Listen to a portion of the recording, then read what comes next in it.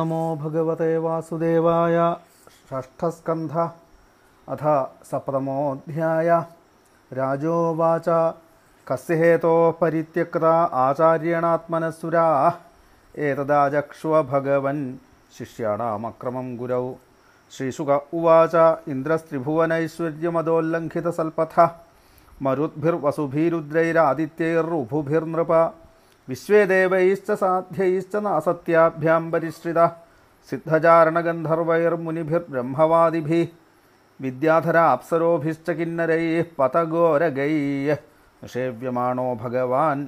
നിഷേവ്യമാണോ മഘവാൻ സ്തൂയമാനശ്ച ഭാരത. ഉപഗീയമാനോ ലളിതമാസ്ഥാനാധ്യാസനാശ്രിത. പാണ്ഡുരേണാദപത്രേണ ചന്ദ്രമണ്ഡലചാരുണ. യുക്തശ്ചാന്യൈः പാരമേഷ്ഠൈശ്ചാമരവ്യജനാദിഭിः. വിരാജമാന പൗലോമ്യ സഹാർദ്ധാസനയാ ഭൃശം. സയദാ പരമാചാര്യം ദേവാനാമാത്മനശ്ച നാഭ്യനന്ദത സംപ്രാപ്തം പ്രത്യുത്ഥാനാസനാദിഭി. വാചസ്പതിം മുനിവരം സുരാസുര നമസ്കൃതം നോച്ചചാല നോച്ചചാലാസനാദിന്ദ്ര പശ്യന്നപി സമാഗതം. തതോ നിർഗത്യ സഹസാ കവിരാംഗിരസ പ്രഭു ആയയോ സ്വഗൃഹം തൂഷ്ണീം വിദ്വാൻ ശ്രീമതവിക്രിയാം തരിഹേവ പ്രതിബുദ്ധ്യേന്ദ്രോ ഗുരുഹേളനമാത്മന. ഗർഹയാമാസ സദസി സ്വയമാത്മാനമാത്മന. അഹോബത മമ അസാധുകൃതം വൈദഭ്രബുദ്ധിന യന്മയൈശ്വര്യമത്തേന ഗുരു സദസി കാൽകൃത കോ ഗൃധ്യേൽ പണ്ഡിതോ ലക്ഷ്മീം ത്രിവിഷ്ടപവതേരപി യയാഹമാസുരം ഭാവം. നീതോദ്യ വിബുധേശ്വര യേ പാരമേഷ്ഠ്യം ധിഷണമധിതിഷ്ഠന്ന കഞ്ചന. പ്രത്യുത്തിഷ്ഠേദിതി ബ്രൂയുർധർമ്മം തേന പരം വിദു. തേഷാം കുപഥദേഷ്ടॄണാം പതതാം തമസി ഹ്യഥ യേ ശ്രദ്ധധ്യുർവചസ്തേ വൈ മജ്ജന്ത്യശ്മപ്ലവ ഇവ. അഥാഹമരാചാര്യമഗാധധിഷണം ദ്വിജം പ്രസാദയിഷ്യേ നിഷഠ ശീർഷ്ണാ തച്ചരണം സ്പൃശൻ. ഏവം ചിന്തയതസ്തസ്യ മഘോനോ ഭഗവാൻ ഗൃഹാൽ ബൃഹസ്പതിർഗതോ ദൃഷ്ടാം ഗതിമധ്യാത്മമായയാ. ഗുരോർനാധിഗതസംജ്ഞാം പരീക്ഷൻ ഭഗവാൻ സ്വരാൾ ധ്യായൻ ധിയാസുരൈർയുക്ത ശർമ്മനാലഭതാത്മന തൽ ശ്രുത്വൈവാസുരാ സർവേ ആശ്രിത്യൗശനസമ്മതം ദേവാൻ പ്രത്യുദ്യമം ചക്രു. ദുർമദ ആതതായിന. തൈർവിസൃഷ്ടേഷു ഭിസ്തീക്ഷ്ണൈർനിർഭിന്നാംഗോരുബാഹവ ബ്രഹ്മാണം ശരണം ജഗ്മു സഹേന്ദ്രാനതകന്ധരാ. താംസ്തഥാ അഭ്യർത്ഥിതാൻ വീക്ഷ്യ ഭഗവാൻ ആത്മഭൂരജ. കൃപയാ പരയാ ദേവ ഉവാച പരിസാന്ത്വയൻ. ബ്രഹ്മോവാച അഹോബത സുരശ്രേഷ്ഠാ ഹ്യഭദ്രം വക്ൃതം മഹൽ ബ്രഹ്മിഷ്ഠം ബ്രാഹ്മണം ദാന്തമൈശ്വര്യാന്നാഭ്യനന്ദത. തസ്യായ മനയസ്യാസീൽ പരേഭ്യോ വാ പരാഭവ.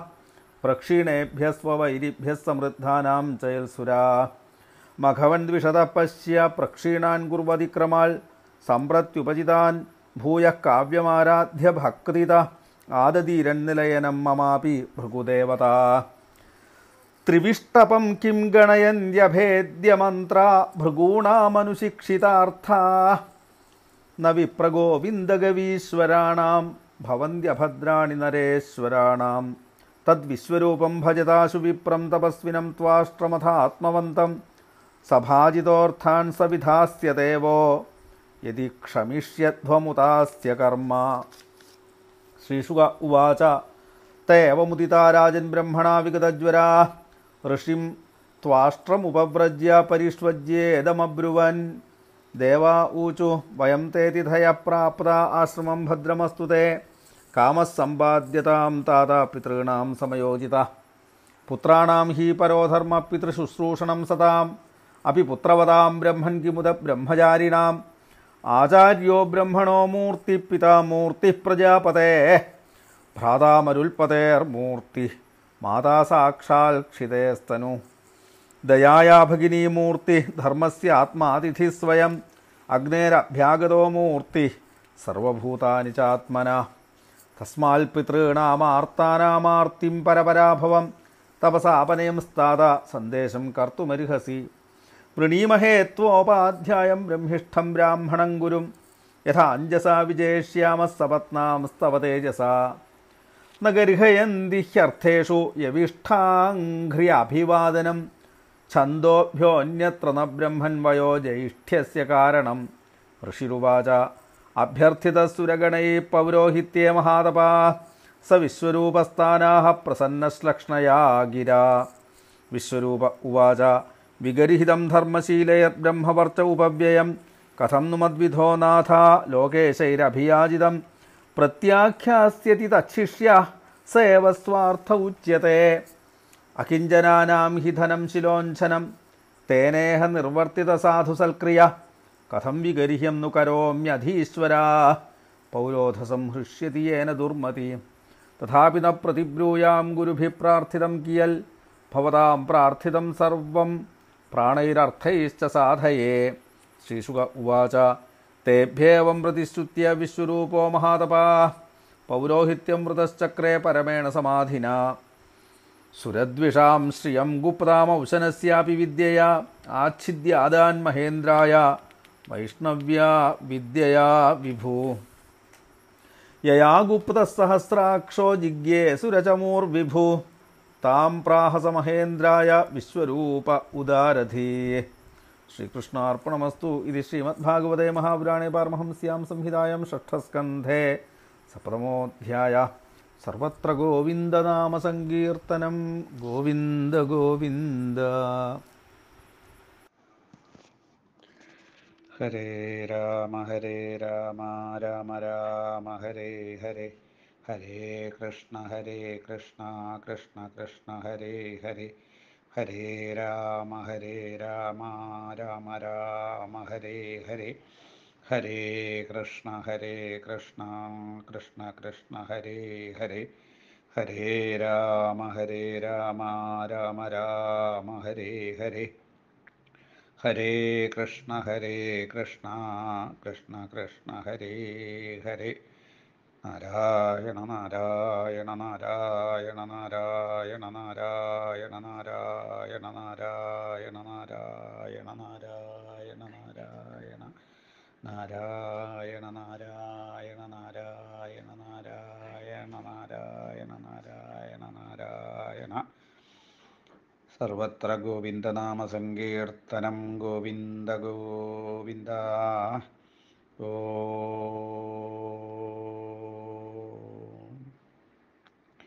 ഗുരുർബ്രഹ്മ ഗുരുർവിഷ്ണുർഗുരുർദേവോ മഹേശ്വര. ഗുരുസാക്ഷാത് പരം ബ്രഹ്മ തസ്മൈ ശ്രീ ഗുരവേ നമ. അജ്ഞാനതിമിരാന്തസ്യ ജ്ഞാനാഞ്ജനശലാകയാം ചക്ഷുരുന്മീലിതം യേന തസ്മൈ ശ്രീ ഗുരവേ നമ. മാനാതീതഗുണാകരാ സുമനസാമഗ്രേ സരശ്രീപതി ധ്യാനാവസ്ഥിതമാനസപരിണതപ്രജ്ഞപ്രകൃഷ്ടാശയ. നാനാശാസ്ത്രവിശാരദാ പ്രണിപതൽഭക്തവ്രജൈരാവൃത ജ്ഞാനാനന്ദയതീശ്വരോ വിജയതേ സൗജന്യരത്നാകരാം. മൂകം കരോതി വാചാലം പങ്കും ലങ്കയതേ ഗിരിം. കൃപാതമഹം വന്ദേ ബാലകൃഷ്ണം പരം ഗുരും. വാഗീശാദ്യാസുമനസാം സർവാർത്ഥാനാമുപക്രമേയം നത്വാ കൃതകൃത്യാസ്യുസ്തം നമാമി ഗജാനനം. ദോർഭിർയുക്താ ചതുർഭിസ്ഫടികമണിമയീമക്ഷമാലാം ദദാനാഹസ്തേനൈകേന പത്മം സിതമപി ച ശുഖം പുസ്തകം ചാപരേണാം ഭാസാം കുന്ദേന്ദുശംഖസ്ഫടികമണിനിഭാ ഭാസമാനാ സമാനാം സാമേ വാഗ്ദേവദേയം നിവസതു വദനേ സർവധാ സുപ്രസന്ന. ശിവം ശിവകരം ശാന്തം ശിവാത്മാനം ശിവോത്തമം ശിവമാർഗപ്രണേതാരം പ്രണതോസ്മി സദാശിവം. സർവമംഗളമംഗല്യേ ശിവേ സർവാർത്ഥസാധ്വികേ ശരണ്യേ ത്രയംബകേ ഗൗരി നാരായണി നമോസ്തുതയം പീതാംബരം കരവിരാജിതശംഖചക്രകൗമോദഗീ സരസിജം കരുണാസമുദ്രം രാധാസഹായമതിസുന്ദരമന്ദഹാസം വാതാലയേശമനിശം ഹൃതി ഭാവയാമി. ശ്രീ ഗുരുവായൂരപ്പ ശരണം. സജ്ജനങ്ങൾക്കെല്ലാവർക്കും വിനീതമായിട്ടുള്ള നമസ്കാരം. ഷഷ്ടസ്കന്ധത്തിൽ പോഷണം എന്ന ഭഗവാന്റെ അനുഗ്രഹലീലയെ വർണിച്ചിരിക്കുകയാണ്. പോഷണം തദനുഗ്രഹ ഭഗവാൻ തന്റെ ഭക്തന്മാരെ ഏതൊക്കെ രീതിയിലാണ് പോഷിപ്പിക്കുന്നത്? നമ്മളിപ്പോൾ എങ്ങനെ ഏത് കുലത്തിൽ എവിടെ ജനിച്ചാലും ആ കിട്ടിയ ജന്മം കൊണ്ട് ഈശ്വരനെ ആശ്രയിക്കുക ഭഗവാനെ ആശ്രയിച്ചു കഴിഞ്ഞാൽ ആ ജീവന് പരമഗതി ഉണ്ട് എന്ന് കാണിച്ചു തരികയാണ് ഭഗവാൻ തന്റെ അനുഗ്രഹ വിശേഷത്തിലൂടെ. അതിൽ അജാമിളോപാഖ്യാനത്തിലൂടെ നാമജപം കൊണ്ടുള്ള പോഷണത്തെ വർണിച്ചു.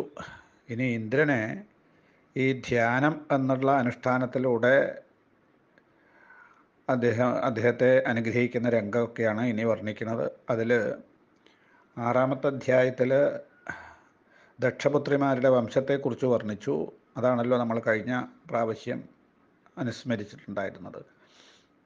അതിൽ ദക്ഷൻ അറുപത് മക്കൾ അതിലെ പതിമൂന്ന് പേരെ കശ്യപ മഹർഷി വിവാഹം ചെയ്തു എന്നാണ് പറഞ്ഞത്.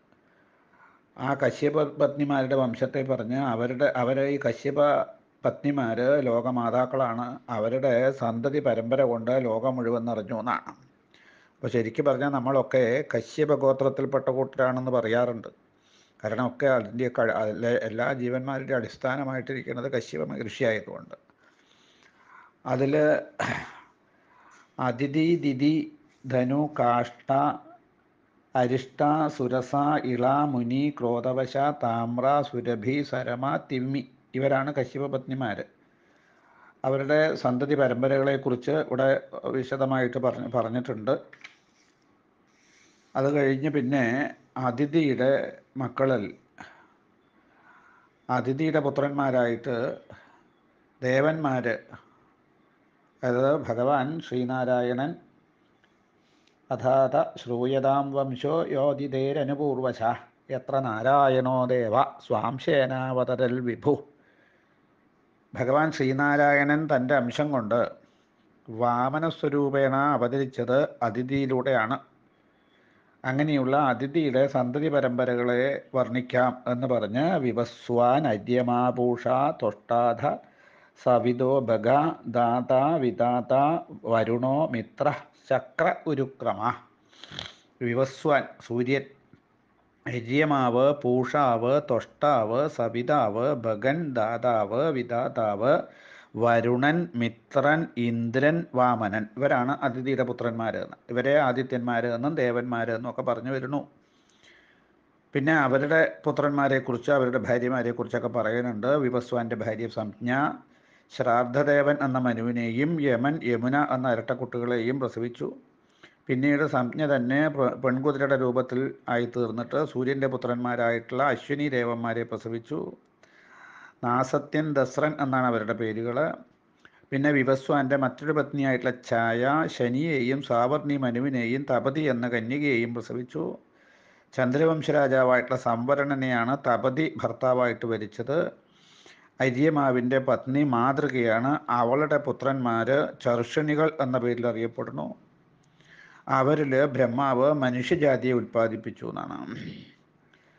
ദക്ഷൻ പരമേശ്വരനെ ശപിച്ചപ്പോൾ പരിഹസിച്ച് ചിരിച്ചതുകൊണ്ട് വീരഭദ്രൻ പൂഷാവിന്റെ പല്ലുകളൊക്കെ അടിച്ചു കൊഴിച്ചു. പല്ലില്ലാത്തത് കൊണ്ട് പൂഷാവ് വിവാഹം ചെയ്തില്ല. അതുകൊണ്ട് അദ്ദേഹത്തിന് സന്തതിയുമില്ല. അദ്ദേഹം അരച്ചത് മാത്രം ഭക്ഷിക്കുന്നവനായി എന്നാണ്. പിന്നെ തൊഷ്ടാവിന്റെ കാര്യമാണ് പിന്നെ പറയുന്നത് അതാണ് നമ്മുടെ വിഷയമായിരിക്കുന്നത്. തൊഷ്ടാവ് ദൈത്യന്മാരുടെ അനുജത്തിയായിട്ടുള്ള രചന എന്ന കന്യകയാണ് വിവാഹം കഴിച്ചത്. അവളിൽ അദ്ദേഹത്തിന് സന്നിവേശൻ എന്നും വിശ്വരൂപൻ എന്നും പേരായിട്ട് രണ്ട് പുത്രന്മാരുണ്ടായി. വിശ്വരൂപൻ വീര്യവാനായിരുന്നു. ശത്രുക്കളായിട്ടുള്ള ദൈത്യന്മാരുടെ സഹോദരി പുത്രനാണെങ്കിലും ദേവന്മാർ അദ്ദേഹത്തെ ഗുരു ആയിട്ട് വരിച്ചു എന്നാണ്. അതിനെന്താ കാരണം എന്നാണെങ്കിൽ ദേവഗുരുവായിട്ടുള്ള ബൃഹസ്പതി ഒരിക്കൽ ദേവന്മാരെ ഉപേക്ഷിച്ചങ്ങ് പോയി. അതിനാലാണ് അവർ വിശ്വരൂപനെ ഗുരുവായിട്ട് സ്വീകരിച്ചത് എന്നാണ്. അപ്പം ചോദിച്ചു കസ്യഹേതോ പരിത്യക്ത ആചാര്യേണാത്മനസുര ഏതഥാചക്ഷു ഭഗവൻ ശിഷ്യാണാമക്രമം ഗുരു? അല്ലയോ ശുഖമഹർഷേ എന്ത് കാരണത്താലാണ് ദേവാചാര്യനായിട്ടുള്ള ബൃഹസ്പതി ദേവന്മാരെ ഉപേക്ഷിച്ചത്? ശിഷ്യരായിട്ടുള്ള ദേവന്മാർ ഗുരുവിനോട് എന്ത് അതിക്രമമാണ് കാണിച്ചത് എന്നാണ് പരീക്ഷത്ത് ചോദിക്കുന്നത്. ഈ ചോദ്യത്തിന് ശ്രീ ബ്രഹ്മഋഷി മറുപടി പറയുക ഇപ്പോൾ ഇവിടെ ഈ തൊഷ്ടാവ് സംജ്ഞ ഈ രജനിയെ വിവാഹം കഴിച്ചതോട് കൂടിയിട്ട് ദേവന്മാരെ അദ്ദേഹത്തെയൊക്കെ പുറത്താക്കിയ മട്ടാണ്. അങ്ങനെയൊക്കെയാണ്. പണ്ട് ഈ ജാതി അല്ലാതെ സ്വജ സ്വജ സ്വജാതിയിൽ നിന്നല്ലാണ്ട് വിവാഹം കഴിച്ചാൽ അവരെ സമൂഹം അംഗീകരിക്കില്ല. അങ്ങനെ ഒരു സംസ്കാരം പണ്ടുണ്ടായിരുന്നു. ഇന്നിപ്പോൾ അതൊന്നും ഇല്ല. അപ്പോൾ അവർക്ക് രണ്ട് പുത്രന്മാർ അവർ നല്ല കേമന്മാരായിട്ട് തീരുകയാണ്. അപ്പോൾ ഈ രജനിയുടെ മകനെ ദേവന്മാരെ ഗുരുവായിട്ട് വരിച്ചു എന്നാണ് പറയണത്. അപ്പോൾ എന്താ അതിന് കാരണം എന്ന് കാണിക്കുകയാണെങ്കിൽ പറയുകയാണെങ്കിൽ ഒരിക്കൽ ഇന്ദ്രൻ ഇന്ദ്ര ത്രിഭുവന ഐശ്വര്യം അതോല്ലംഘിത സത്പഥ മരുദ്ഭിർ വസുഭി രുദ്രൈരാദിത്യേ ഋഭുവിർ നൃപ. ഒരിക്കൽ ഇന്ദ്രൻ താൻ ത്രൈലോക്യത്തിന്റെ അധിപതിയാണെന്നുള്ള അഹങ്കാരത്തിന് വശകനായിട്ട് തീർന്നു. അദ്ദേഹം ഒരു ദിവസം സ്വർഗത്തിൽ തന്റെ സിംഹാസനത്തിൽ ഇരിക്കുകയാണ് ഇന്ദ്രന്റെ അടുത്ത ഭാഗത്ത് അതേ സിംഹാസനത്തിൽ ഇന്ദ്രാണിയും ഇരിക്കുന്നുണ്ട്. ദേവവൃന്ദങ്ങളൊക്കെ അദ്ദേഹത്തെ സ്തുതിച്ചുകൊണ്ട് ഒരുപാട് ആളുകളുടെ പേര് ഇവിടെ പറയുന്ന മരുത്തുക്കൾ വിശ്വദേവന്മാർ സാധ്യന്മാർ സിദ്ധന്മാർ ചാരണന്മാർ ഗന്ധർവന്മാർ ഇവരൊക്കെ വേദജ്ഞന്മാരായിട്ടുള്ള മഹർഷിമാർ വിദ്യാധരന്മാർ അപ്സരസുകൾ ഇവരൊക്കെ ഇന്ദ്രനെ ആശ്രയിച്ച് ഇന്ദ്രന്റെ മഹിമയെ വാഴ്ത്തി തുതിച്ചുകൊണ്ടിരിക്കുകയാണ് ആ രാജോപചാര രാജോപചാരങ്ങളെ കൊണ്ടൊക്കെ ശോഭിച്ചുകൊണ്ടിരിക്കുകയാണ് ഇന്ദ്രൻ. ഇങ്ങനെയുള്ള ഐശ്വര്യം കൊണ്ട് ഇന്ദ്രൻ അഹങ്കാരിയായിട്ട് തീർന്നുവാണ്. എപ്പോഴും അങ്ങനെയാണ് ഈ ഐശ്വര്യം ധാരാളം വന്നാൽ അതിന്റെ പിന്നിൽ അഹങ്കാരം ഉണ്ടാവുന്നതാണ്. ഈ അഹങ്കാരം വല്ലാണ്ട് വർദ്ധിക്കുമ്പോൾ ഐശ്വര്യത്തിന്റെ നിദാനമായിട്ടുള്ള ഈശ്വരനെ നമ്മൾ മറക്കും. ജീവൻ എപ്പോഴും അങ്ങനെ ജീവനെ ഈശ്വരൻ നിന്ന് അകറ്റി നിർത്തിയിരിക്കുന്നത് ഈ അഹങ്കാരം ഞാനെന്ന ആ തോന്നലാകുന്ന അഹങ്കാരമാണ് അത് നീങ്ങാത്തടത്തോളം കാലം ജീവന് ഈശ്വരനുമായിട്ട് ഐക്യം ഉണ്ടാകുകയില്ല.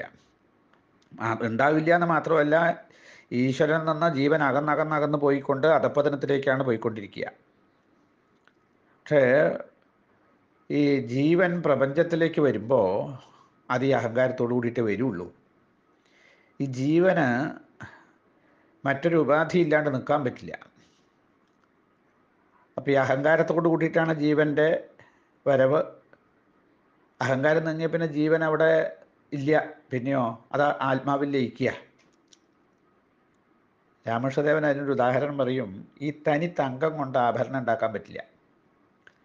ആ തങ്കത്തിൽ ചെമ്പ് തുടങ്ങിയിട്ടുള്ള ഏതെങ്കിലും ഒരു ലോഹ ചെമ്പ് ചേർക്കണം. എങ്കിലേ അത് ആഭരണത്തിന്റെ വടിവ് കിട്ടുള്ളൂ അല്ലാണ്ട് കിട്ടില്ല. ഇതുപോലെയാണ് ജീവനെന്നാണ്. അഹങ്കാരത്തോട് കൂടിയിട്ട് ജീവന് പ്രപഞ്ചത്തിൽ നിൽക്കാൻ പറ്റുള്ളൂ.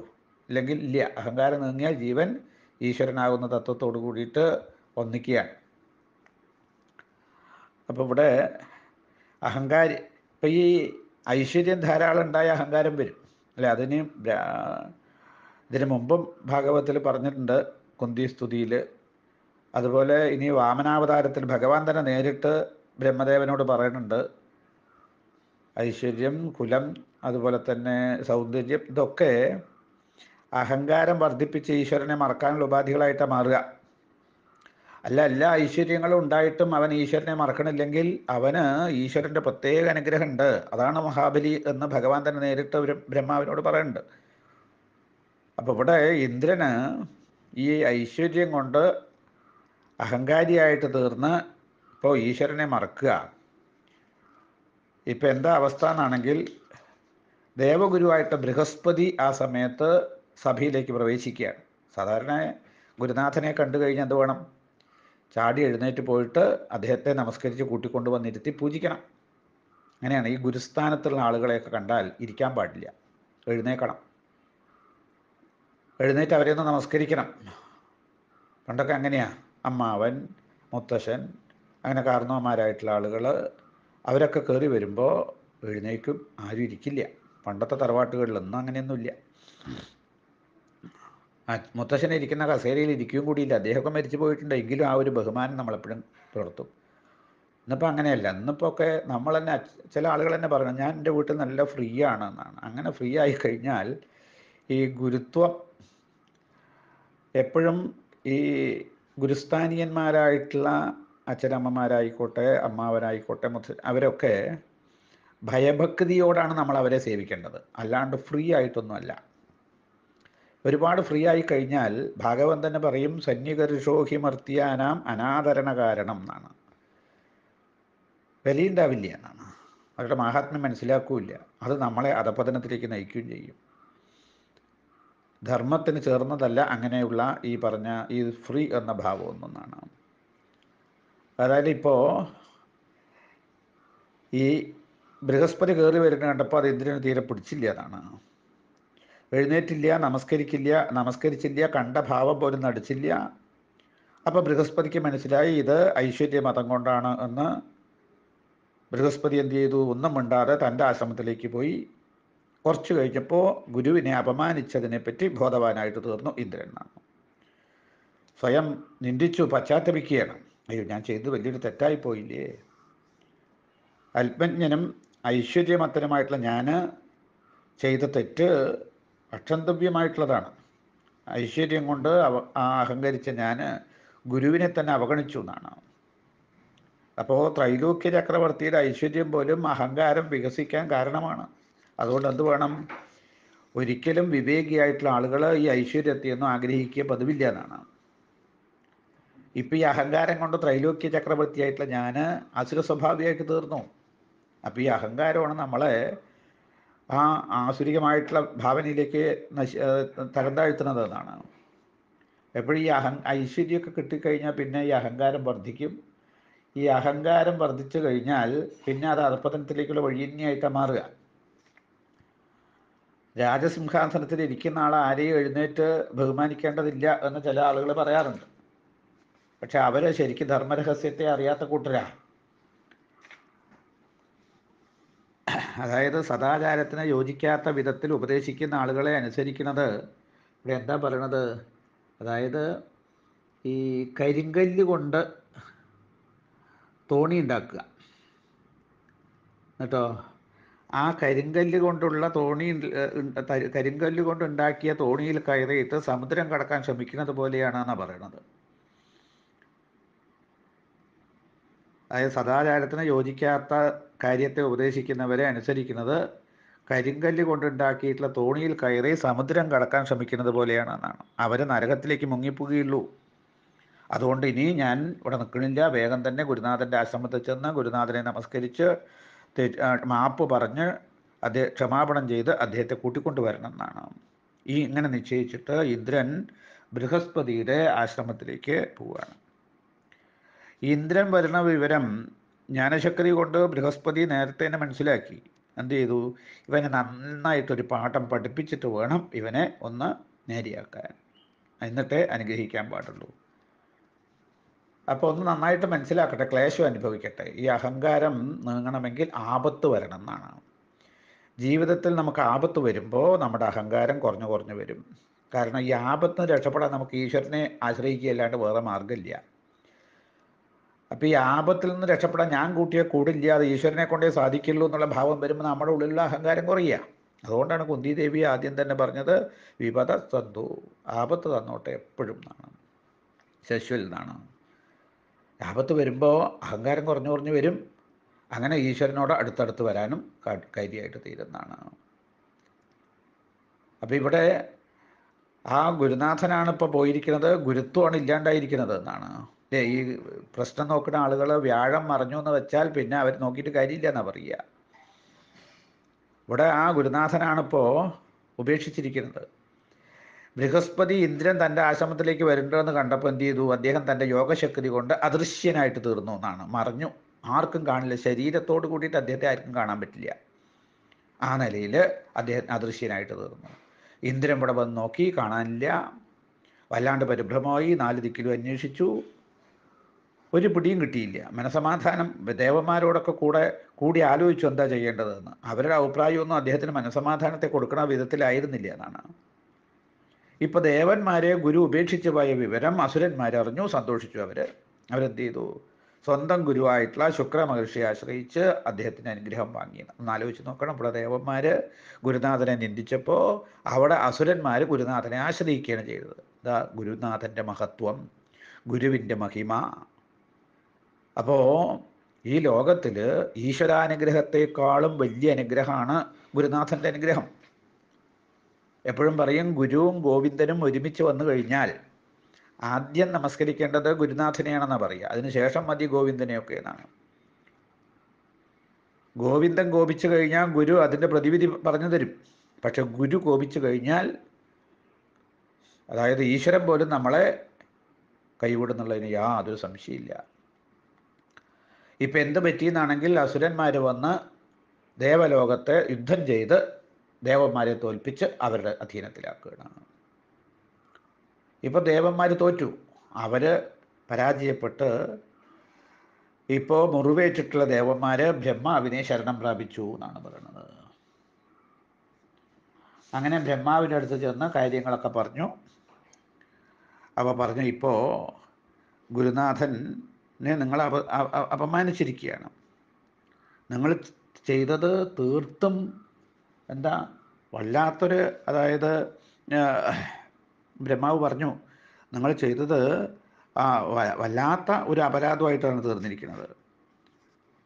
അനുചിതമാണ്. അഹോബര സുരശ്രേഷ്ഠ ഹെബദ്രംവ വൃതം മഹൽ. ബ്രഹ്മിഷ്ടം ബ്രാഹ്മണം ദാന്തം ഐശ്വര്യാനാഭ്യനന്ദത ഇപ്പോൾ ഇവിടെ ബ്രഹ്മജ്ഞാനിയും ഇന്ദ്രിയങ്ങളെയൊക്കെ അടക്കിയവനും ബ്രാഹ്മണനും ഗുരുവുമായിട്ട് ബൃഹസ്പതിയെ ഐശ്വര്യമതം കൊണ്ട് നിങ്ങൾ അവഗണിച്ചു. ഗുരുവിനെ ബഹുമാനിക്കാതിരുന്ന പാപത്തിന്റെ ഫലമാണ് ശത്രുക്കളായിട്ടുള്ള അസുരന്മാരിൽ നിന്ന് നിങ്ങൾക്ക് നേരിടേണ്ടി വന്നതായിട്ടുള്ള ഈ പരാജയം. നോക്കൂ നിങ്ങൾ അസുരന്മാരെ എന്നാണ്. അവർ ദുർബലരായിരുന്നിട്ടും ഗുരുവിനെ ആശ്രയിച്ച് അവർ ശക്തന്മാരായിട്ട് തീർന്നിരിക്കുക ശുക്രമഹർഷിയുടെ അനുഗ്രഹത്തോട് കൂടിയിട്ടുള്ള അവർ വേണച്ചാൽ എന്റെ സത്യലോകം തന്നെ കീഴടക്കാൻ പ്രാപ്തന്മാരാണെന്നാണ്. ഒന്ന് ആലോചിച്ച് നോക്കൂ. ഇപ്പോൾ ശുക്രാചാര്യന്റെ ഉപദേശയെ മാനിക്ക ഉപദേശത്തെ മാനിക്കുന്നവരാണ്. ആർക്കും നശിപ്പിക്കാൻ കഴിയാത്ത ആ മന്ത്രപരത്തോടു കൂടിയവരാണ് അസുരന്മാർ സ്വർഗത്തെ കീഴടക്കാൻ ശക്തരാണ് ഇതിൽ ആശ ആശ്ചര്യമില്ല. കാരണം സത്യലോകത്തെ തന്നെ കീഴടക്കാൻ ശക്തിയുണ്ട്. അപ്പോൾ പിന്നെ സ്വർഗത്തെ കീഴടക്കിയതിൽ എന്താ ആശ്ചര്യം? നോക്കൂ. ഈ ബ്രാഹ്മണര് പശുക്കൾ ഭഗവാൻ ഇവരെ ആശ്രയിച്ചവർക്ക് ഒരിക്കലും അമംഗളം ഉണ്ടാവില്ല. അത് നിങ്ങൾ ആശ്രയിച്ചില്ല. അതുകൊണ്ട് ഒരു കാര്യം ചെയ്യണം. നിങ്ങൾ യോഗ്യനായിട്ടുള്ള ഒരു ഗുരുനാഥനെ ആശ്രയിക്കണം. എങ്കിലേ അസുരന്മാരെ ജയിക്കാൻ കഴിയുള്ളൂ. അപ്പോൾ ഗുരു കോപിച്ചു കഴിഞ്ഞാൽ ഗുരുനാഥന്റെ അനുഗ്രഹം കൊണ്ട് എത്ര നീചനെയും ഉത്കൃഷ്ടനാക്കാൻ പറ്റും. ഗുരുനാഥന്റെ സ്വാമിജി ഒരു കഥ പറയാറുണ്ട്. പണ്ട് ഒരു ഗുരു ഒരു ഒരു ഗുരുകുലം നടത്തുക. അതിൽ ഒരുപാട് ബ്രഹ്മചാരിമാർ പഠിക്കാനായിട്ട് ചെല്ലും വിദ്യാഭ്യാസത്തിനായിട്ട്. അപ്പോൾ അവിടുത്തെ അവിടുത്തെ പ്രത്യേകത എന്താ വെച്ചാൽ ഒരു കുറച്ച് ഗ്രന്ഥങ്ങൾ ഇങ്ങനെ ഷെൽഫിൽ അടുക്കി വെച്ചിട്ടുണ്ട്. നമുക്ക് ചെന്നിട്ട് നമുക്ക് ഏത് ഗ്രന്ഥമാണോ ഇഷ്ടം അതെടുത്ത് അതിൽ അത് പ്രാക്ടീസ് ചെയ്യാം ഗുരുനാഥന്റെ മുമ്പിൽ ഇരുന്നിട്ട് അത് പഠിപ്പിച്ചു തരും അദ്ദേഹം. അങ്ങനെ ഇരിക്കുന്ന കാലത്ത് ഒരു ബ്രഹ്മചാരി ബ്രഹ്മചാരി എന്ന് പറയാൻ വയ്യോ എന്നറിയ വഹിക്കുമോ അറിയില്ല തനി വിഘടന അത്യ അപകടക്കാരനാണെന്നാണ്. ഇയാളെ അച്ഛനമ്മമാരെ ചെന്ന് ഈ ഗുരുനാഥന്റെ ഗുരുകുലത്തിൽ കൊണ്ട് ചേർത്തു എന്നാണ്. അവരങ്ങ് പോയി. പിന്നെ ഗുരു ഗുരുകുലത്തിലാ. പറഞ്ഞു ഇഷ്ടമുള്ളത് നിനക്ക് പഠിക്കാം. ഏത് ഗ്രന്ഥ വേണ്ട ചെന്ന് എടുത്തിട്ട് കൊണ്ടുവന്നോളൂ എന്നാണ്. അപ്പോൾ ഇവൻ ആ ഗ്രന്ഥങ്ങളൊക്കെ പരിശോധിച്ചപ്പോൾ അതിൽ കപടശാസ്ത്രം എന്നൊരു ഗ്രന്ഥം കണ്ടു എന്നാണ്. അവന് തോന്നി തന്റെ സ്വഭാവത്തിന് ചേരുന്നത് തന്നെയാണെന്നും പറഞ്ഞ് അത് പഠിച്ചു എന്നാണ്. മോഷണവിദ്യയൊക്കെ ആയിരിക്കും അതിൽ ഏതായാലും പഠിച്ചു. ഇപ്പോൾ ഗുരുനാഥൻ ഓരോ ഗ്രന്ഥങ്ങൾ എടുത്ത ബ്രഹ്മചാരിമാർ അത് പഠിച്ചു കഴിഞ്ഞാൽ ഗുരുനാഥന് ദക്ഷിണ സമർപ്പിക്കും അവരവിടുന്ന് പോവും. ഇപ്പോൾ പത്ത് പതിനഞ്ച് ശിഷ്യന്മാരുണ്ട് ഇപ്പോൾ ഓരോരുത്തരായിട്ട് അവരുടെ പഠനമൊക്കെ പൂർത്തിയായപ്പോൾ ഓരോ കിഴിപ്പണം അദ്ദേഹത്തിന് സമർപ്പണം അതായത് ദക്ഷിണയായിട്ട് സമർപ്പിച്ചു. അദ്ദേഹവും ആ കിഴിയൊക്കെ കൂടെ ഒരിടത്ത് സൂക്ഷിച്ചു വയ്ക്കും എന്നിട്ട് എല്ലാവരുടെയും കൂടെ വിദ്യാഭ്യാസം കഴിഞ്ഞ് അവരൊക്കെ ഗുരുകുലത്തിൽ നിന്ന് പോകുമ്പോൾ ഈ കിഴിയൊക്കെ ആയിട്ട് തന്റെ വീട്ടിൽ കൊണ്ടുപോയിട്ട് തന്റെ ഭാര്യയ്ക്കും മക്കളും കൊടുത്തിട്ട് തിരിച്ചു വരും. അതാണ് അദ്ദേഹത്തിന്റെ സമ്പ്രദായം. ഇപ്പോൾ ഓരോരുത്തരുടെ വിദ്യാഭ്യാസം കഴിഞ്ഞു പോയി. അവരൊക്കെ ദക്ഷിണയും സമർപ്പിച്ചു. അവസാനം നമ്മുടെ കഥാപാത്രത്തിന്റെ ഗുരുദക്ഷിണ സമയം വന്നു. അദ്ദേഹത്തിന്റെ കയ്യിൽ ദക്ഷിണ കൊടുക്കൊന്നുമില്ല. ഇപ്പം എന്ത് ചെയ്തു എന്നാണെങ്കിൽ ഗുരുനാഥൻ മറ്റ് ശിഷ്യന്മാരൊക്കെ കൊടുത്തതായിട്ടുള്ള ഈ പണക്കിഴി സൂക്ഷിച്ചു വെച്ച ദിക്ക് അയാൾ മനസ്സിലാക്കി. രാത്രി ചെന്ന് അത് തുറന്നു നോക്കിയപ്പോൾ പത്ത് പതിനാല് പണക്കിഴിയുണ്ട്. അത് നൊന്നെടുത്തു എന്നാണ്. എടുത്ത് പിറ്റേന്ന് രാവിലെ ഗുരുനാഥന്റെ കാക്കൽ വെച്ച് നമസ്കരിച്ചു. ഗുരുനാഥൻ അനുഗ്രഹിക്കുകയും ചെയ്തു. അദ്ദേഹം. അങ്ങനെ അയാൾ പോയി. ഗുരുനാഥനാണെച്ച വൈകുന്നേരം തന്റെ വീട്ടിലേക്ക് പോകാൻ പുറപ്പെട്ടു നോക്കുമ്പോൾ പതിനഞ്ച് പണക്കിഴിയെ കാണണ്ട്. പക്ഷെ പതിനാല് കിഴിയുള്ളൂ പതിനഞ്ചാൾ ഇവിടെ നിന്ന് ഗുരുകുലത്തിൽ നിന്ന് പോയിട്ടുണ്ടല്ലോ. അപ്പോൾ എന്താ പറ്റി അപ്പോൾ അദ്ദേഹത്തിന് മനസ്സിലായി. ഈ അവസാനത്തെ വിദ്വാൻ അയാൾക്ക് ദക്ഷിണ സമർപ്പിക്കുകയൊന്നുമില്ല അപ്പോൾ അതിൽ നിന്ന് ഒന്ന് മോഷ്ടിച്ചിട്ട് തനിക്ക് സമർപ്പിച്ചതാണെന്ന് മനസ്സിലായി. എങ്കിലും വേണച്ച അവൻ ആ പതിനാല് മോഷ്ടിക്കാം. അത് ചെയ്തില്ല. ചെയ്തതെന്താ? ഒരു കിഴിയെ മോഷ്ടിച്ചത് അവന് വേണ്ടത് മാത്രം. അതുകൊണ്ട് അവന്റെ മനസ്സിന് ശുദ്ധിയുണ്ട്. അവൻ പഠിച്ച ശാസ്ത്രത്തിൽ അവൻ ഉത്കൃഷ്ടനായിട്ട് തീരട്ടെ എന്ന് മകൻ മനസ്സുകൊണ്ട് അദ്ദേ- അദ്ദേഹത്തെ അനുഗ്രഹിച്ചു എന്നാണ് ഗുരുനാഥൻ. നല്ല പഠിച്ച കള്ളനായിട്ട് തീർന്നു എന്നാ പിന്നെ പറയുക. അങ്ങനെയാണ് ഈ പഠിച്ച കള്ളൻ എന്നൊരു ഭാവം ഉണ്ടായതെന്നാണ് തോന്നുന്നത് അത് അതാണ് ഗുരുനാഥന്റെ അനുഗ്രഹം എന്ന് പറയണത് എന്നർത്ഥം. ഇപ്പം അതില്ലാണ്ടായിരിക്കുകയാണ്. അപ്പോൾ നിങ്ങളൊരു കാര്യം ചെയ്യൂ. തൊഷ്ടാവിന്റെ മകനായിട്ടുള്ള വിശ്വരൂപൻ ആത്മജ്ഞാനിയാണ്. അവൻ വലിയ തപസ്സിയാണ് അദ്ദേഹത്തെ ആശ്രയിക്കുക. അദ്ദേഹത്തിനൊരു കുഴപ്പമുണ്ട്. കാരണം അദ്ദേഹം അസുരസ്ത്രീയുടെ മകനാണ് മകനാ. അദ്ദേഹത്തിന്റെ അസുര സ്നേഹത്തെ നിങ്ങൾക്ക് ക്ഷമിക്കാൻ പറ്റുമെങ്കിൽ വിശ്വരൂപൻ നിങ്ങളുടെ ഗുരുവായിട്ട് വരും. നിങ്ങളുടെ ആവശ്യം അദ്ദേഹം സാധിപ്പിക്കുകയും ചെയ്യുന്നതാണ്. ഇത് കേട്ടപ്പോൾ പിന്നെ ഇന്ദ്രൻ ദേവന്മാരോടുകൂടെ നേരെ വിശ്വരൂപന്റെ അല്ലെങ്കിൽ തൊഷ്ടാവിന്റെ ആശ്രമത്തിലേക്ക് പോവാണ് ഇതുവരെ തിരിഞ്ഞു നോക്കിയിട്ടില്ല. കാരണം സ്വന്തം കാര്യം വരുമ്പോഴാണ് ഇന്ദ്രൻ അതിനൊക്കെ മെനക്കെടുന്നത്. ദേവന്മാർ ചെന്ന് വിശ്വരൂപന്റെ ആശ്രമത്തിലെത്തി പറഞ്ഞു പിന്നെ അവിടെ കുറച്ചൊരു പ്രസംഗമൊക്കെയാണ് ധർമ്മത്തെക്കുറിച്ച് ഇന്ദ്രന്റെ. എന്താ ചെയ്തതെന്നാണെങ്കിൽ ഉണ്ണി നിനക്ക് മംഗളം ഉണ്ടാവട്ടെ എന്ന് ഇന്ദ്രൻ അദ്ദേഹത്തെ ആലിംഗനം ചെയ്തു എന്നാണ്. എന്നിട്ട് പറഞ്ഞു ഞങ്ങൾ വയം തേ അതിഥയപ്രാപത ആശ്രമം ഭദ്രമസ്തുതേ കാമസമ്പാദ്യതാം താത പിതൃണാം സമയോചിതാ വത്സ നിനക്ക് മംഗളം ഉണ്ടാവട്ടെ നിന്റെ അതിഥിയായിട്ടാണ് ഞങ്ങളൊക്കെ ഇവിടെ വന്നിരിക്കുന്നത്. നിന്റെ ചെറിയച്ഛനായിട്ടുള്ള എനിക്ക് നീ സമയത്തിന് അനുചിതമായിട്ടുള്ള സഹായമൊക്കെ ചെയ്തു തരണം എന്നാണ്. ഒരു പുത്രന്റെ ധർമ്മം എന്താ? അതാണ് ഇനി പിന്നെ പറയാൻ പോണത്. പുത്രാണാം ഹി പരോധർമ്മ പിതൃശുശ്രൂഷണം സദാം. പിതൃശുശ്രൂഷയാണ് പുത്രന്മാരുടെ ധർമ്മം എന്നാണ്. ഇനി ഓരോരുത്തരുടെ യോഗ്യതയെക്കുറിച്ച് പറയുക. എന്താ? അതായത് ആചാര്യൻ വേദസ്വരൂപനാണ് അച്ഛൻ ബ്രഹ്മദേവ സ്വരൂപനാണ് സഹോദരൻ ഇന്ദ്രന്റെയും അമ്മ ഭൂമിദേവിയുടെയും സ്വരൂപികളാണ്. സഹോദരി ദയിയുടെയും അതിഥി ധർമ്മത്തിന്റെയും അഭ്യാഗതൻ അഗ്നിയുടെയും സ്വരൂപികളാണ് എന്നാണ്. ഇവിടെ അതിഥി അഭ്യാഗതൻ എന്നാണ്. രണ്ടാണ്. പരിചയമുള്ള ഒരാൾ ഗൃഹത്തിൽ വന്നാൽ അയാളെ അതിഥി എന്ന് പറയും. പരിചയമില്ലാത്തവനാണെങ്കിൽ അഭ്യാഗതൻ എന്ന് പറയുന്നതാണ് പിന്നെ പറഞ്ഞു സകല ജീവികളും ആ എന്താ സർവഭൂതാനി ചാത്മന. സർവഭൂതങ്ങളും പരമാത്മാവിന്റെ സ്വരൂപാന്തരങ്ങളാണ് എന്നാണ് പ്രതിരൂപങ്ങളാണ്. അതുകൊണ്ട് ഞങ്ങളുടെ സങ്കടം നീ നിന്റെ തപസ്സിന്റെ പ്രഭാവം കൊണ്ട് തീർത്തു തന്ന് ഞങ്ങളെ അനുഗ്രഹിക്കണം. ബ്രഹ്മനിഷ്ഠനായിട്ടുള്ള തന്നെ ഞങ്ങൾ ഗുരുവായിട്ട് വരിക്കുകയാണ് നിന്റെ തേജസ് കൊണ്ട് ഞങ്ങൾക്ക് ശത്രുക്കളെ എളുപ്പത്തിൽ ജയിക്കാൻ കഴിയണം. കാര്യസാധ്യത്തിന് വേണ്ടിയിട്ട് പ്രായം കുറഞ്ഞ ആളുകളെ നമസ്കരിക്കുന്നതിൽ തെറ്റൊന്നുമില്ല എന്നാണ് ഈ നമസ്കാരമൊക്കെ ശരീരത്തിനല്ല ശരീരത്തിനാണല്ലോ പ്രായവും ജരയും നരിയും ഒക്കെ വരിക. ഇവിടെ ജ്ഞാനത്തിനെയാണ് ബഹുമാനിക്കുക. അപ്പം ജ്ഞാനം ആർക്കുണ്ടോ അവരെ ബഹു നമസ്കരിക്കാം. കാരണം പ്രായം നോക്കേണ്ട കാര്യമില്ല. അപ്പോൾ ഭാഗവതം തന്നെ കപിലോപദേശത്തിൽ കപിലവാസുദേവരെ ദേവഭൂതി പുത്രനാണ് മൂന്ന് വയസ്സേ ഉള്ളൂ. പക്ഷേ ദേവഭൂതി നമസ്കരിക്കുന്നത് അവിടെ കണ്ടിട്ടുണ്ട് നമ്മൾ അപ്പോൾ എപ്പോഴും എന്താ അതിന്റെ അർത്ഥം? അതായത് ശരിക്ക് ആ ശ്രേഷ്ഠതയ്ക്ക് കാരണം വയോ ചന്തോഭ്യോന്നത്ര ന ബ്രഹ്മൻ വയോ ജ്യേഷ്ഠ്യസ്യ കാരണം എന്നാണ്. അപ്പോൾ ശ്രേഷ്ഠതയ്ക്ക് കാരണം ജ്ഞാനമാണ് അല്ലാണ്ട് പ്രായമല്ല എന്നുള്ള തത്വം അവിടെ കാണിച്ചു തരുന്നു. അപ്പോൾ ഇന്ദ്രൻ ഇങ്ങനെ വന്ന് പ്രാർത്ഥിച്ചപ്പോൾ ഇവിടെ വിശ്വരൂപം പറഞ്ഞു. എന്താ പറഞ്ഞത്? അതെ ഞാനിപ്പോൾ വിഗർഹിതം ധർമ്മശീലേ ബ്രഹ്മവർച്ച ഉപവ്യയം. അല്ലേ? അതായത് പൗരോഹിത്യത്തെ ധാർമ്മികന്മാർ നിന്ദ്യമായിട്ട് കരുതും. ഒരിക്കലും ധാർമ്മികന്മാർ പുരോഹിത വൃത്തി എന്നുള്ളത് അല്ലെങ്കിൽ പൗരോഹിത്യം എന്നുള്ളത് ശ്രേയസായിട്ട് കരുതില്ല. അതിനെ നിന്ദിക്കുന്ന കൂട്ടരാ. കാരണം എന്താ? പുരോഹിതന്റെ പ്രവൃത്തി ബ്രഹ്മതേജസ്സിന് ഹൈനികരാണ്. അപ്പോൾ എങ്കിലും എന്റെ ഗുരുക്കന്മാരായിട്ട് നിങ്ങളുടെ ആജ്ഞയെ ഞാൻ എങ്ങനെ തിരസ്കരിക്കുക? സാധാരണ ബ്രഹ്മനിഷ്ഠനായിട്ട് തന്നെ ജീവിക്കണം എന്ന് മോഹമുള്ള ഒരു തപസ്വി എന്തു ചെയ്യണം? കോയി ഒന്നിനോടും അവർക്ക് ബന്ധം അല്ല കടപ്പാടുണ്ടാവില്ല. ഉണ്ടാ അങ്ങനെ വേണം ജീവിക്കാൻ. അതിന് മറ്റു മാർഗം എന്താ? ശിലം ഉഞ്ചം ഈ രണ്ട് വൃത്തികളെ ശാസ്ത്രത്തിൽ പറയും. കൊയ്ത്ത് കഴിഞ്ഞ് കർഷകൻ പോയി കഴിഞ്ഞാൽ വയലിൽ വീണ് കെട്ട് കിടക്കുന്ന ധാന്യങ്ങളെ കൊണ്ടോ അല്ലെങ്കിൽ അങ്ങാടിയിൽ നിന്ന് വീണ് കിട്ടുന്ന ധാന്യങ്ങളെ കൊണ്ടോ ഉപജീവനം കഴിക്കുക. അത് ആരോടും ബന്ധ കടപ്പാട് വരില്ല. അങ്ങനെ ജീവിച്ചാൽ ബ്രഹ്മനിഷ്ഠയോടുകൂടി ബ്രഹ്മനിഷ്ഠനായിട്ട് മാറാം. അല്ലെങ്കിൽ മറ്റുള്ളതിലൊക്കെ ബന്ധം വരും. കടപ്പാട് വരും അപ്പോൾ ബ്രഹ്മനിഷ്ഠയ്ക്ക് കോട്ടവും സംഭവിക്കും.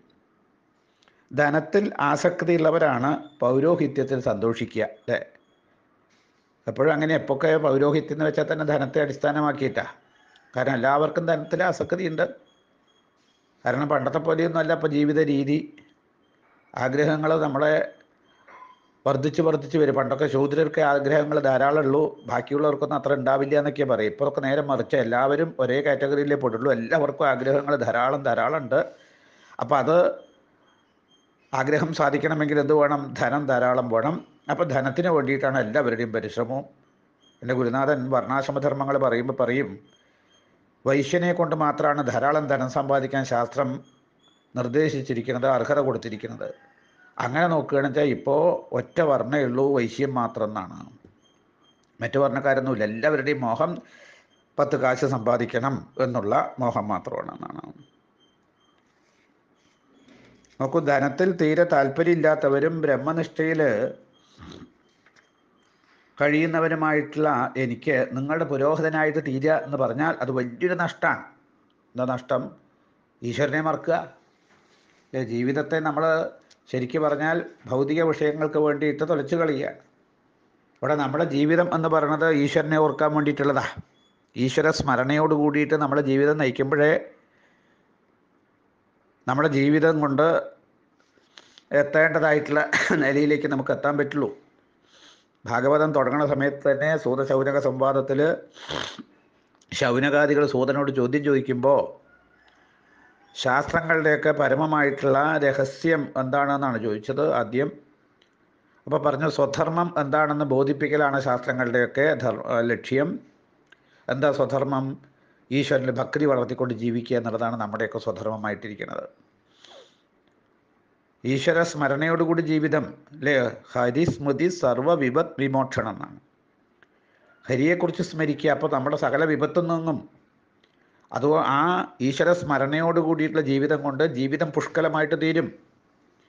ലക്ഷ്യത്തെ സാക്ഷാത്കരിക്കാൻ പറ്റും. എങ്ങനെയാണ് അത് സാധ്യമാവുക അതായത് നമ്മുടെ ഉള്ളിൽ മനസ്സ് അല്ലെങ്കിൽ ഈ സംസാര ചക്രം അല്ലെങ്കിൽ മനസ്സ് പ്രവർത്തിക്കുന്നത് ആറ് ഭാവത്തിലാണെന്ന് പറയാറുണ്ട് ഗുരുനാഥൻ. ഓർമ്മ ചിന്ത വാക്ക് പ്രവൃത്തി അനുഭവം അറിവ്. ഈ ഓർമ്മയാണ് പിന്നെ ചിന്തയായിട്ട് വരിക. അപ്പോൾ ഈശ്വരപരമായിട്ട് നമുക്ക് ജീവിച്ച് ഈശ്വരനാകുന്ന ലക്ഷ്യത്തിലെത്തണം എന്നുണ്ടെങ്കിൽ നമ്മുടെ ഉള്ളിലുള്ള ഓർമ്മ ഈശ്വരനെ കുറിച്ചിട്ടുള്ള ഓർമ്മയായി തീരണം. ഓർമ്മ ഈശ്വരനെ കുറിച്ചായാൽ പിന്നെ ചിന്തിക്കുന്നത് ഈശ്വരനെ കുറിച്ച്. അപ്പോൾ ചിന്ത ഈശ്വരപരമായിട്ട് തീരും. ഈ ചിന്തയാണ് പിന്നീട് വാക്കായിട്ട് വരിക. അപ്പോൾ ആ വാക്കോ ഈശ്വരപരമായിട്ട് ഈശ്വരന്റെ മഹാത്മ്യങ്ങളായിട്ട് തീരും. ആ വാക്കാണ് പിന്നെ പ്രവൃത്തിയായിട്ട് വരിക. അപ്പോൾ ചെയ്യുന്ന പ്രവൃത്തിയോ ഈശ്വരപരമായിട്ടുള്ള പ്രവൃത്തി ഈശ്വര സന്തോഷത്തിനുള്ള പ്രവൃത്തി ആ പ്രവൃത്തിയാണ് പിന്നെ അനുഭവമായിട്ട് വരിക. അപ്പോൾ ആ അനുഭവമോ ഈശ്വര അനുഭവം നമുക്ക് അനുഭവിക്കാൻ പറ്റും. ആ അനുഭവത്തെയാണ് പിന്നെ നമ്മൾ ഓർക്കുക. അനുഭവിച്ചു കഴിഞ്ഞാൽ നമുക്ക് ഓർക്കാൻ പറ്റുള്ളൂ. എന്താ അനുഭവം? ഈശ്വര അനുഭവം. അതിനെക്കുറിച്ച് ഓർക്കുമ്പോഴോ? പിന്നെ ചിന്തിക്കുന്നത് ഈശ്വരനെക്കുറിച്ച് പറയുന്നത് ഈശ്വരനെക്കുറിച്ച് പ്രവർത്തിക്കുന്നത് ഈശ്വരനെക്കുറിച്ച് ഇങ്ങനെ വേണം നമ്മുടെ ജീവിതത്തെ ഈശ്വര സ്മരണയോടുകൂടി വിനിയോഗിച്ച് ലക്ഷ്യത്തിലേക്ക് എത്തിക്കാൻ. പക്ഷേ നമ്മുടെ ഓർമ്മയും ചിന്തയും വാക്കും പ്രവൃത്തിയും ഒന്നും പറയുമ്പോൾ ഒക്കെ നമ്മൾ ഈശ്വരനെ കുറിച്ചാണ് പറയും. പിന്നെ അതിന്റെ അപ്പുറത്ത് വേറെ മറ്റ് പല വിഷയചിന്തകളും ആയിരിക്കും വരികയാണ്. ഈശ്വരനെ തന്നെ നമ്മൾ ഉപയോഗിക്കുന്നത് വിഷയ അതായത് വിഷയങ്ങൾ കിട്ടാൻ വേണ്ടിയിട്ടാണ്. എത്ര ആൾ ഈശ്വരനെ ഈശ്വരന് വേണ്ടി ഭജിക്കുന്നുണ്ടെന്ന് ആലോചിച്ച് നോക്കൂ. ആൾ പറയുമ്പോൾ ഒക്കെ പറയും ഈശ്വരനെ ഈശ്വരനെ വേണ്ടി ഭജിക്കണം ഒന്നും ചോദിക്കാൻ പാടില്ല ഒന്നും ആഗ്രഹിക്കാൻ പാടില്ല. ഈ പറയുന്ന ആളുടെ ഉള്ളിൽ തന്നെ ആഗ്രഹങ്ങൾ അനവധി ഉണ്ടാവും എന്നാണ്. ഒക്കെ വെറും വീട്ടിലെ പശു മാത്രമായിട്ടാണ് ആയിട്ട് തീരുന്നത്. പിന്നൊരു കാര്യം ശരീരമുണ്ട് ശരീരം നിലനിൽക്കണ്ടേ അതിനെന്തെങ്കിലുമൊക്കെ വേണം എന്നാണെങ്കിൽ അതിലപ്പുറത്തേക്ക് നമ്മൾ ചിന്തിക്കരുത്. നോക്കൂ നമ്മളിപ്പോൾ എന്ത് ചിന്തിച്ചാലും നമുക്ക് വരേണ്ടതല്ലേ വരുള്ളൂ. അതിന്റെ അപ്പുറത്തേക്ക് വരില്ലല്ലോ അതാണ് പൂർവജന്മ കർമ്മഫലം എന്ന് പറയുന്നത്. നമ്മളിപ്പോൾ എങ്ങനെ നമ്മൾ ഇപ്പോൾ നേരത്തെ തന്നെ വിതരമൈത്രേയ സംവാദത്തിലൊക്കെ അതിനെക്കുറിച്ച് പറയുന്നുണ്ട് നമ്മൾ പ്രവർത്തിക്കാതെ തന്നെ പ്രാരബ്ധവശാലുള്ള ദുഃഖം നമുക്ക് വന്നുകൊണ്ടിരിക്കുന്നുണ്ട് അപ്പോൾ പിന്നെ പ്രവർത്തിക്കാതെ തന്നെ സുഖവും വരും. പൂർവജന്മ കർമ്മഫലമായിട്ട് സുഖദുഃഖങ്ങൾ ചെയ്ത പ്രവൃത്തിയുടെ കർമ്മത്തിന്റെ ഫലമാണ് അത് നമ്മളൊന്നും ചെയ്താലും ചെയ്തില്ലെങ്കിലും അനുഭവിക്കേണ്ടതാണ് അത് മനസ്സിലാക്കിയിട്ട് എന്ത് വേണം? വരുന്ന അനുഭവങ്ങളെ കൊണ്ട് നമ്മൾ സന്തോഷിക്കുക. കൂടുതൽ കൂടുതൽ നമുക്ക് എപ്പോഴും ഈ ആഗ്രഹങ്ങൾ വർദ്ധിക്കുമ്പോൾ മനസ്സിന് ടെൻഷൻ കൂടി കൂടി കൂടി വരികയാണ് നമ്മുടെ ആഗ്രഹം അണച്ച സമാധാനം വേണം വേണം എന്നാണ് പക്ഷെ മനസ്സിൽ ഈ ആഗ്രഹം ഉള്ളിടത്തോളം കാലം സമാധാനം അവിടെ കിട്ടാനാ? സമാധാനം കിട്ടണോ? ശാന്തി വേണോ? ഒറ്റ വഴിയേ ഉള്ളൂ ആഗ്രഹങ്ങളെയൊക്കെ ഉപേക്ഷിക്കുക. ഒരാഗ്രഹവും മനസ്സിൽ വരരുത്. അതോ അകാമ സർവകാമോ വാ മോക്ഷകാമ ഉദാരധി. തീവ്രേണ ഭക്തിയോഗേണ യജേത ഭഗവാനെ ഭജിക്കാൻ അവിടെ പറയുന്നുണ്ട്. അപ്പോൾ ഒരാഗ്രഹവും മനസ്സിൽ വരരുത്. ആഗ്രഹങ്ങളില്ലെങ്കിലോ മനുഷ്യന് പരമശാന്തിയാ. ഏ ഉറക്കത്തിൽ നമുക്ക് ഒരാഗ്രഹവും ഇല്ല എന്താ നമ്മുടെയൊക്കെ അനുഭവം? നമ്മൾ അനുഭവിക്കുന്നുണ്ട്. ഈ ഉറക്കം എന്നുള്ളത് ശരിക്ക് ഈശ്വരീയമായിട്ടുള്ള അനുഭവത്തിന്റെ ഒരു ഒരു ഒരു ഒരു ഒരു ഒരു ഒരു സ്റ്റാർട്ടിംഗ് പോയിന്റ് എന്ന് വേണമെങ്കിൽ പറയാം. അത് നമ്മൾ അനുഭവിക്കുന്നുണ്ട്.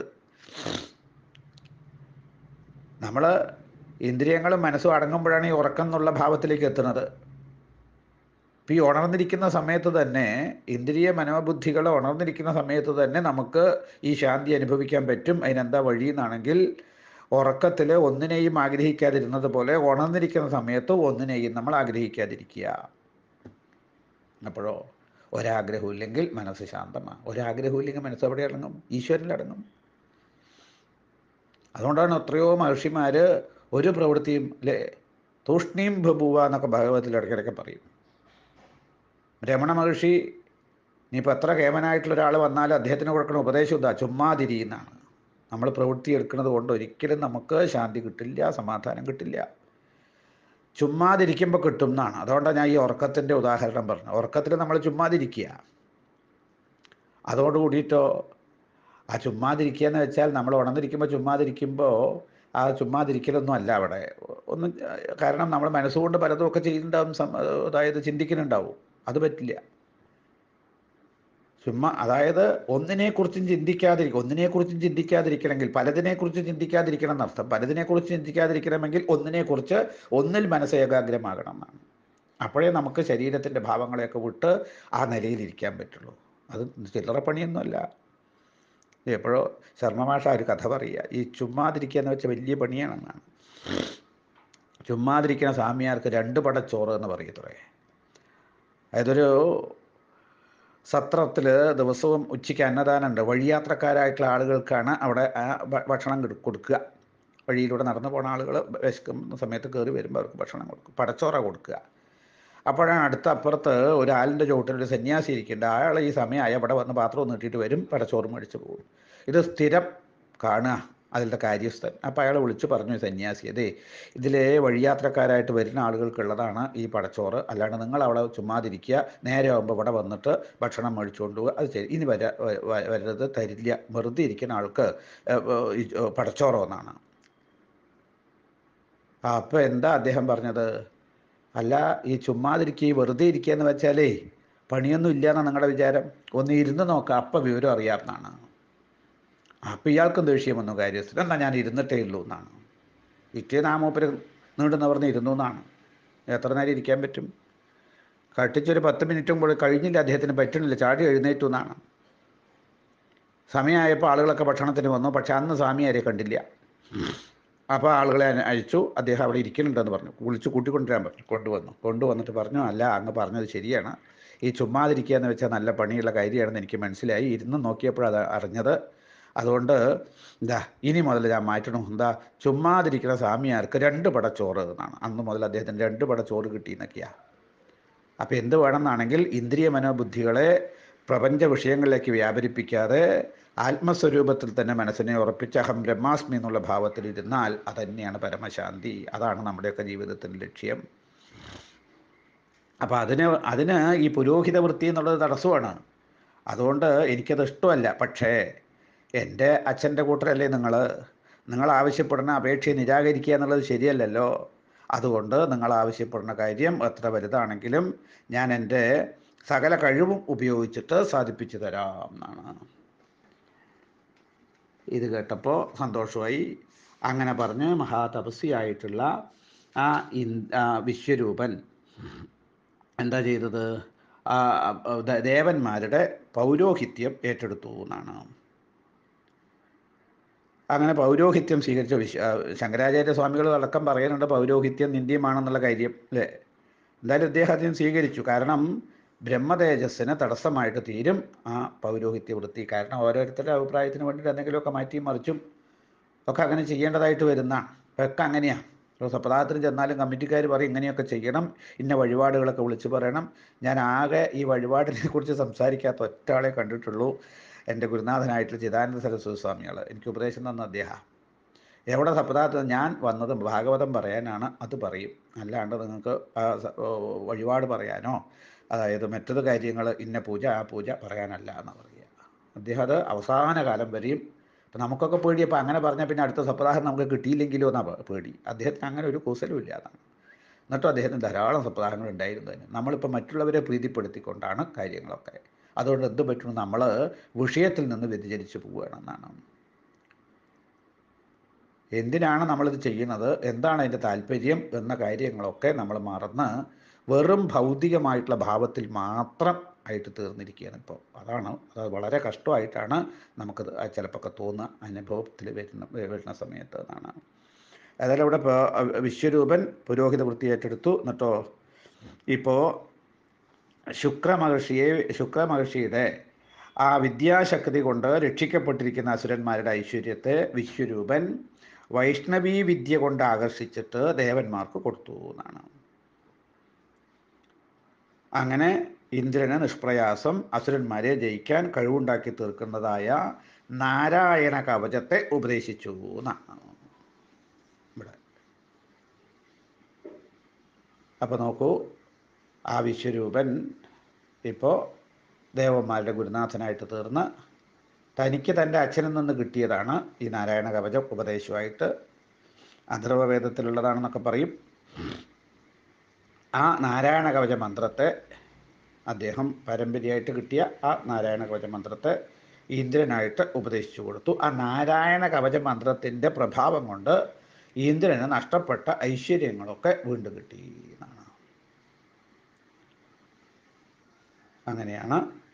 അപ്പോൾ പറഞ്ഞു ആ നാരായണ കവചം എന്താണ്? അതൊന്ന് കേൾക്കണം എന്ന് പറയുമ്പോഴാണ് ഇനി അടുത്ത അധ്യായത്തിൽ നാരായണ കവച മന്ത്രത്തെക്കുറിച്ച് ഉപദേശിക്കുന്നത്. ഏതായാലും ഇപ്പോൾ ഇങ്ങനെ ഒരു നൂതനമായിട്ടുള്ള വിദ്യയിലൂടെ നമുക്ക് ഭാഗവതത്തെ മനസ്സിലാക്കാനും അതിനെക്കുറിച്ച് പഠിക്കാനും അതുപോലെ തന്നെ മനനം ചെയ്യാനുമുള്ള ഒരു സാഹചര്യം അതും ഗുരുവായൂരപ്പന്റെ അനുഗ്രഹം തന്നെയാണ്.